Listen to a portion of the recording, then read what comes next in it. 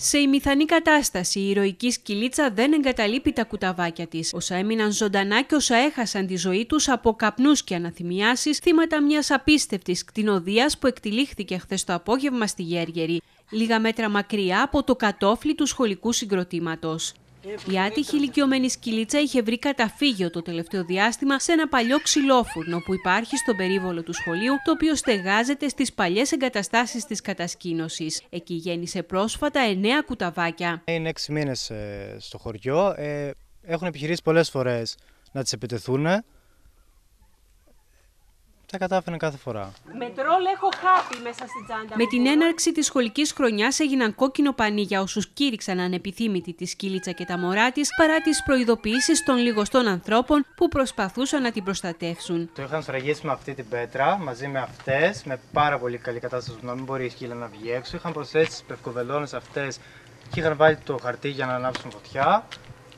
Ε, ο περαστικός είδε καπνούς, το πρόλαβε, το άνοιξε, η κτηνοδία κορυφώθηκε χθες το απόγευμα όταν άγνωστοι μέχρι στιγμής δράστες έκλεισαν τη σκυλίτσα μέσα στο φούρνο, τον σφράγισαν με πέτρες και έβαλαν φωτιά για να την κάψουν μαζί με τα κουτάβια. Ευτυχώς για όλους ε, πέρασε ένας περαστικός, άνοιξε το...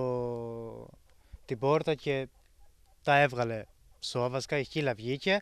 Δύο από αυτά πέθαναν από αναπλευστικό. Περίοικο που αντιλήφθηκε τι συνέβαινε έσβησε τη φωτιά. Ένα από τα κουταβάκια ήταν ήδη νεκρό, ενώ ένα ακόμη έχασε τη ζωή του τη νύχτα, καθώς η ηρωική σκυλίτσα παρέμεινε αβοήθητη στο σημείο προστατεύοντας τα νεκρά και ζωντανά μωρά της μέσα στο φούρνο.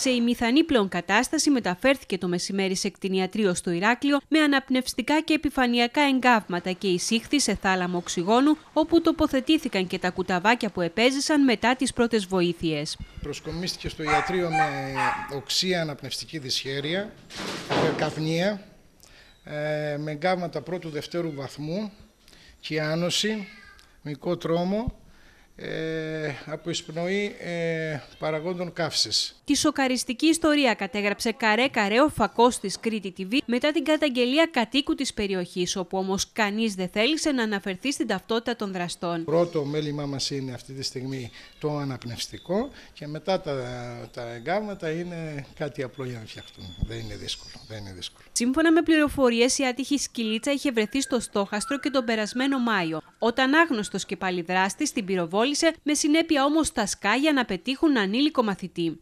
Ναι, έχει τραύματα. Εχθές δεν τα είχε, από ό,τι παρατήρησα.